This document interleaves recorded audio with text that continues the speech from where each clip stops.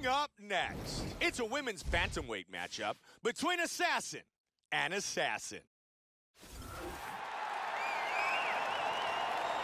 Our tale of the tape for this women's bantamweight showdown. Assassin is 37. Assassin is 44. Assassin will have a two-inch reach advantage. Assassin. You ready? Assassin. You ready? Let's go. Underway. Tonight's fight is scheduled for three five-minute rounds. Assassin with a strong combination. Joe, another good job with leg kicks. She sees the opening, and she's punishing. Joe, she's really staying busy on her feet. Look at that, right to the temple. Good kick. Big battle early. Wow!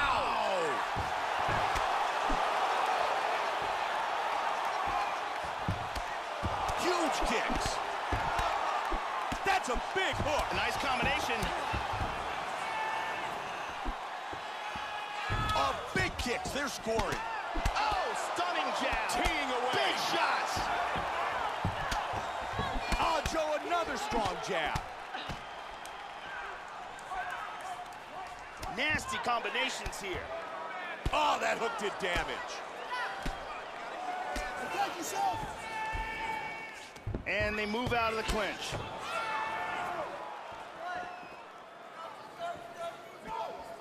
Inside leg kick by Assassin. There it is. Connected there.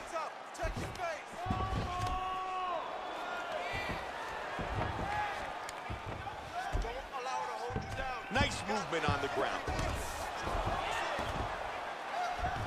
She's now working from side control. Establishes full mount here. The swelling on her eye is starting to get really nasty. Great work from the bottom. Really good movement on the ground. She's looking for the choke here. She escaped the choke. Nice punch by Assassin.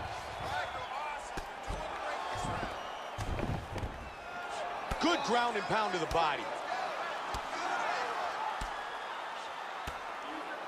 Great work from the top by Assassin. Big left hand.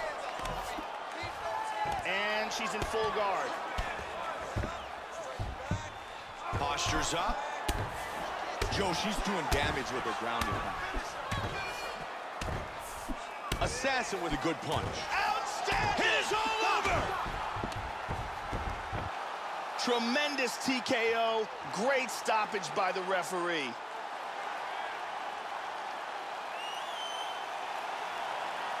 Once again, here's our fight replay.